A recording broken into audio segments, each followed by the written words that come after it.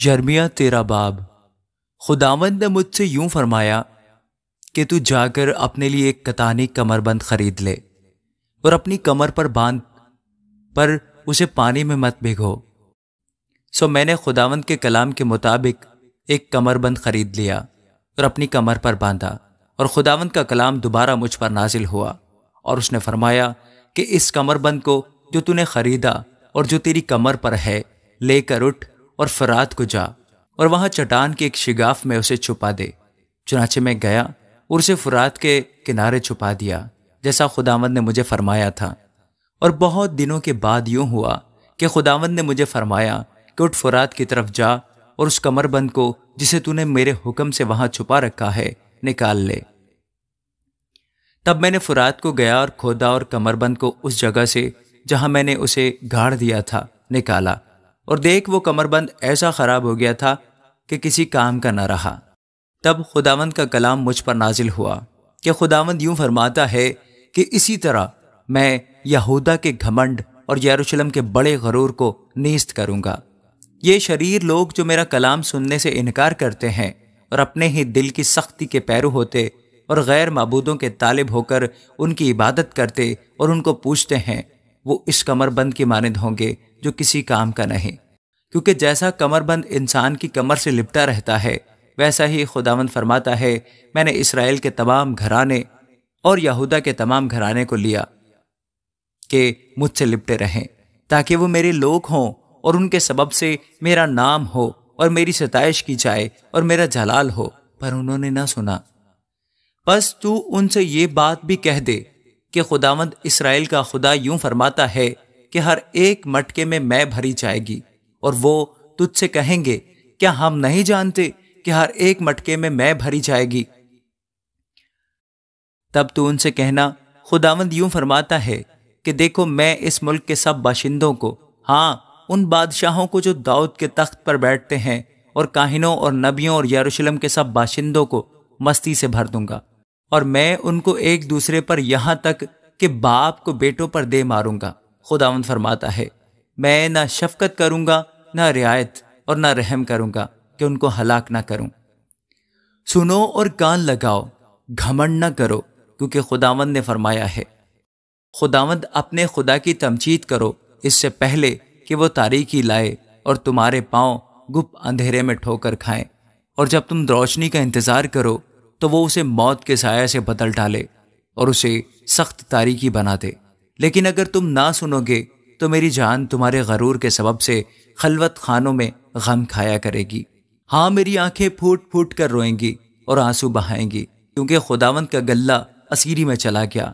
बादशाह और उसकी वालदा से कह कि आजजी करो और नीचे बैठो, क्योंकि तुम्हारी बुजुर्गी का ताज तुम्हारे सर पर से उतार लिया गया है।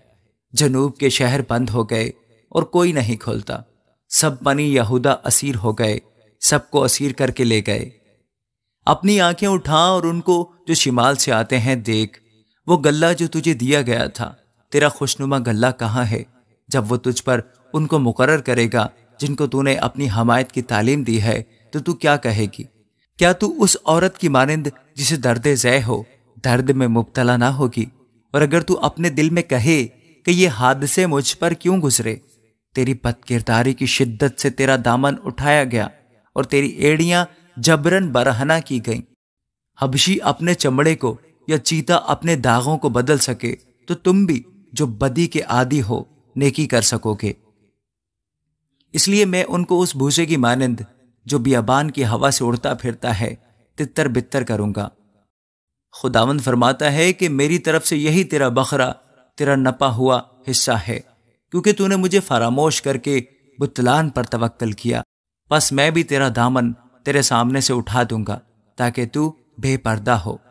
मैंने तेरी बदकारी, तेरा हिनहिनाना, तेरी हरामकारी और तेरे नफरत अंगेज काम जो तूने पहाड़ों पर और मैदानों में किए, देखे हैं। ए यरूशलेम, तुझ पर अफसोस तो अपने आप को कब तक पाक व साफ़ ना करेगी। आमीन। यर्मिया चौदह बाब। खुदावन का वो कलाम जो खुश्क साले की बाबत यर्मिया पर नाजिल हुआ। यहूदा मातम करता है और उसके फाटकों पर उदासी छाई है। वो मातम लिबास में खाक पर बैठे हैं और यरूशलेम का नाला बुलंद हुआ है। उनके उम्र अपने अदना लोगों को पानी के लिए भेजते हैं। वो चश्मों तक जाते हैं, पर पानी नहीं पाते और खाली घड़े लिए लौट आते हैं। वो शर्मिंदा और पशेमान होकर अपने सर ढांपते हैं, चूँकि मुल्क में बारिश ना हुई। इसलिए ज़मीन फट गई और किसान सरासीमा हुए। वो अपने सर ढांपते हैं, चुनाचे हिरनी मैदान में बच्चा देकर उसे छोड़ देती है, क्योंकि घास नहीं मिलती, और गोरखर ऊँची जगहों पर खड़े होकर गीदड़ों के माने ढांपते हैं। उनकी आँखें रह जाती हैं, क्योंकि घास नहीं है। अगर जो हमारी बदकिरदारी हम पर गवाही देती है तो भी ए खुदावंद, अपने नाम की खातिर कुछ कर, क्योंकि हमारी बरगश्तगी बहुत है। हम तेरे खताकार हैं। ए इसराइल की उम्मीद, मुसीबत के वक्त उसके बचाने वाले, तू क्यों मुल्क में परदेसी की मानद बना और उस मुसाफिर की मानद जो रात काटने के लिए डेरा डाले? तो क्यों इंसान की मानद हक्का बक्का है और उस बहादुर की मानद जो रिहाई नहीं दे सकता? बहरहाल, ए खुदावन तू तो हमारे दरमियान है और हम तेरे नाम से कहलाते हैं तो हमको तरक ना कर। खुदावंद उन लोगों से यूँ फरमाता है कि उन्होंने गुमराही को यूँ दोस्त रखा है और अपने पाँव को नहीं रोका। इसलिए खुदावंद इनको कबूल नहीं करता। अब वो इनकी बद किरदारी याद करेगा और इनके गुनाह की सजा देगा। और खुदावंद ने मुझे फरमाया कि इन लोगों के लिए दुआए खैर ना कर, क्योंकि जब ये रोज़ा रखें तो मैं इनका नाला ना सुनूँगा। और जब सौखतनी कुर्बानी और हदिया गुजराने तो कबूल ना करूँगा, बल्कि मैं तलवार और गाल और वबा से इनको हलाक करूँगा। तब मैंने कहा, आह, ए खुदावंद खुदा, देख, अंबिया उनसे कहते हैं, तुम तलवार ना देखोगे और तुम में काल ना पड़ेगा, बल्कि मैं इस मकाम में तुमको हकीकी सलामती बख्शूँगा। तब खुदावंद ने मुझे फरमाया कि अंबिया मेरा नाम लेकर झूठी नबूवत करते हैं। मैंने ना उनको भेजा और ना हुक्म दिया और ना उनसे कलाम किया।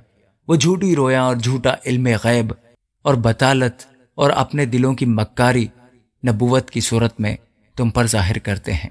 इसलिए खुदावंद यूँ फरमाता है कि वो नबी जिनको मैंने नहीं भेजा, जो मेरा नाम लेकर नबूवत करते हैं और कहते हैं कि तलवार और काल इस मुल्क में ना आएँगे, वो तलवार और काल ही से हलाक होंगे।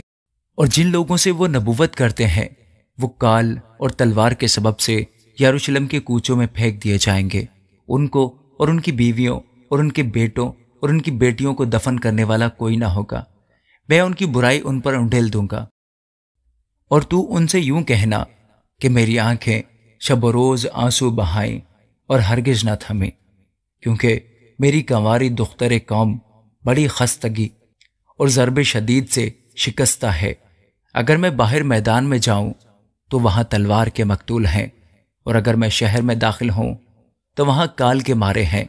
हाँ, नबी और काहिन दोनों एक ऐसे मुल्क को जाएँगे, जिसे वो नहीं जानते। क्या तूने यहूदा को बिल्कुल रद्द कर दिया? कि तेरी जान को सयून से नफरत है? तूने हमको क्यों मारा, और हमारे लिए शिफा नहीं?